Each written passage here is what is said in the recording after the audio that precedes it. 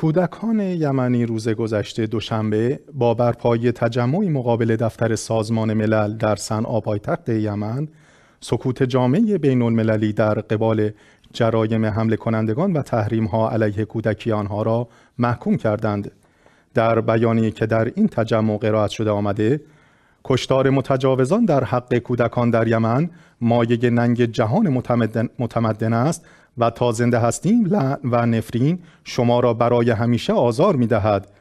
جرایم دشمن متجاوز با چراغ سبز جامعه جهانی ادامه دارد که بهای آن سرقت رویای میلیون ها کودک در یمن است. شرکت کنندگان در تجمع تحریم کمرشکن ورود دارو به یمن را محکوم کردند و کشورهای متجاوز و جامعه بین المللی را مسئول مرگ روزانه کودکان در بیمارستانها خواندند. گفتنی است ارتش عربستان سعودی و همپیمانانش بیش از هشت سال است که حمله تمام ایاری را علیه کشور یمن آغاز کرده و همزمان تحریم هوایی، زمینی، دریایی علیه این کشور را اعمال کردند.